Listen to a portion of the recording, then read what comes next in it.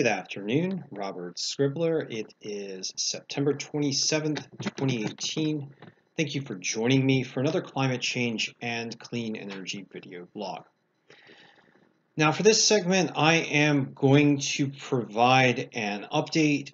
on an ongoing climate and weather situation occurring over the Bering Sea, over the Chukchi Sea, over parts of Siberia and Alaska, as well as parts of the Arctic Ocean. And this event involves high pressure systems over this region, much warmer than normal ocean temperatures in conjunction with these high pressure systems, and high pressure anomaly values at the 500 millibar level of the atmosphere. So, so up, up above the surface of the atmosphere in the range of about 18,000 feet that are at record levels according to NCEP and NCAR reanalysis for early to mid-September. And in this graphic provided by Zach, um, provided by not Zachary Labe. This is uh, World Climate Service, which Zachary Labe retweeted, which is how I found out about it. The standard deviation for 500 millibar height anomaly, which is which is a, a measure of, of atmospheric pressure in this region, is around 5.2 standard deviations, or, or about a 5 sigma deviation from normal atmospheric heights and atmospheric pressures in this region at the 500 millibar level. Now that's that's really really extraordinary. Translating to statistical values, that's a, a rough probability of about 1 in 3.5 million. So under normal climate con conditions, the probability of such an event would be literally a, a less than 1 in 1 million affair. So, so this is a very extraordinary event occurring in the atmosphere over much warmer than normal ocean waters at this time. So earlier this week, we did talk about the likelihood of high amplitude jet stream waves in this region due to much warmer than normal sea surface temperatures. And I'm just going to go ahead and recap the situation a little bit for you guys so you can understand what's going on. It's worth noting that sea surface temperatures in the Bering Sea and into the Chukchi Sea range from about 3 to 2.5 degrees Celsius above normal up to around 4.5 to 4.6 degrees Celsius above normal at this time with a very large pool of much warmer than normal water surrounding this region as well. Notably, this region is, is the hot spot, but we have much warmer than normal sea surface temperatures ranging all the way from Japan in the west to the US central west coast and the east northward. So a very significant pool of much warmer than normal sea surfaces. This warmer than normal sea surface environment is providing a, a surface impetus that influences the jet stream. And and what we've been seeing are high amplitude jet stream waves over the eastern Pacific, near Alaska, near the west coast of Canada, and the west coast of the United States, with projections for these waves to range well into the Bering Sea and up into the Arctic Ocean region of the Chukchi Sea over the next two days, with upper level high pressure systems cycling into the ridge. And, and we have we have tended to see this pattern ever since early September began as these very high, these, these record height anomalies at the 500 millibar level indicate. Just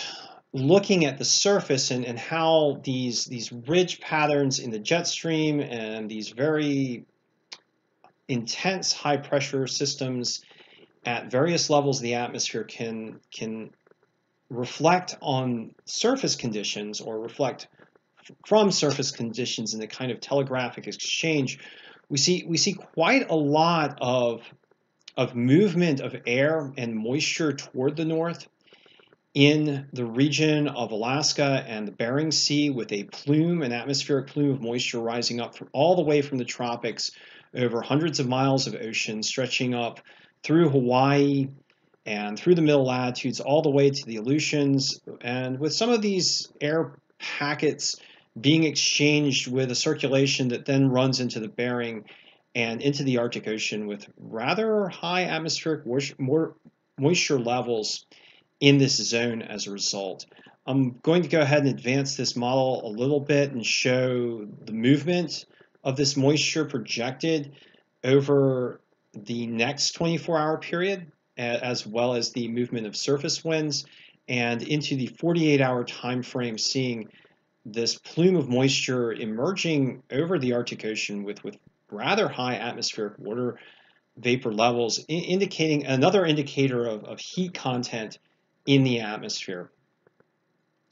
Now, also looking at surface temperature anomalies, would like to note that this whole mechanism is, is a big energy transfer of heat into the Arctic. And what we are seeing right now is Arctic surface temperature anomalies in the range of 2 degrees Celsius overall, with quite a lot of, of considerably above normal surface temperatures in the range of 10 degrees Celsius to possibly as high as, as 13 or 14 degrees Celsius above normal over the central Arctic. And over the next couple of days, these anomaly values are projected to intensify as we have energy transfer running in from the Pacific through the the ridge pattern that I'm describing to you that, that, that appears to be associated with much warmer than normal sea surfaces, as well as through Siberia, where there there's been a consistent warmer than normal land surface temperature anomalies. So, so two zones in which the Arctic at present is receiving energy transfer from the lower latitudes,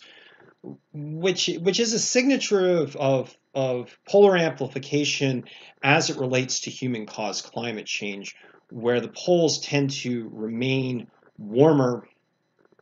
during times of, of darkness, and this is in particular during fall, winter, and spring. Now, I'm going to check how much time we have. Looks like we have a couple minutes. So I'm going to go ahead and pull up a, another set of information for you since we have some more time.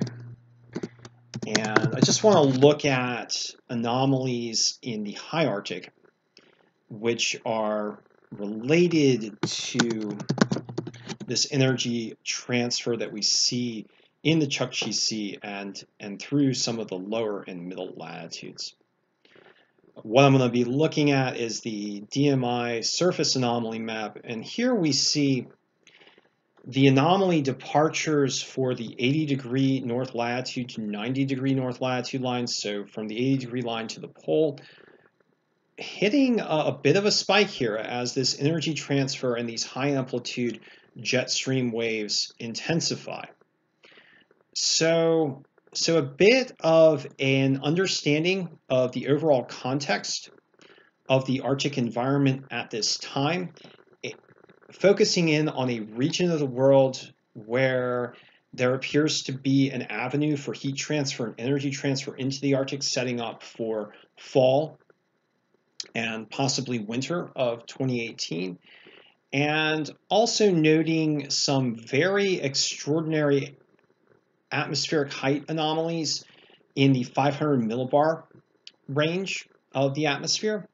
which which are likely a record event associated with various aspects of, of changes to the Earth system related to human-caused climate change, such as warming sea surface temperatures and ice-free regions of the Arctic during fall. Thank you for joining me, and I'll be chatting with you soon.